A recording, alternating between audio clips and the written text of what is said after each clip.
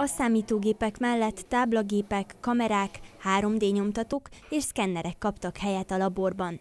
Az évek során összegyűjtött eszközök összesen 25 ezer eurót tesznek ki.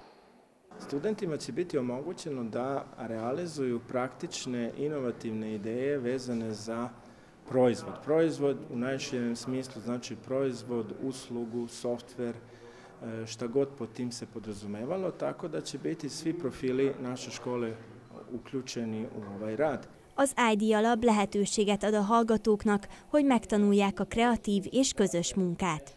Fontos, hogy jobb kapcsolatot alakítsanak ki a helyi vállalkozásokkal is. Az elméleti tudást összehozza a gyakorlati tudással, hiszen mi szakfőiskola vagyunk, és az a célunk, hogy a azt az elméleti tudást, ami a szakmára orientálja őket, azt itt próbálják meg, hiszen több mint 30 vállalattal együttműködünk, és ezek a vállalatok az ötleteket adhatják a hallgatóknak, ilyenre már volt példa. A Szabadkai Műszaki Főiskola az Újvidéki Egyetemmel karöltve nyerte el a Tempus pályázatát, melynek keretében összesen hat labor nyílt a régióban.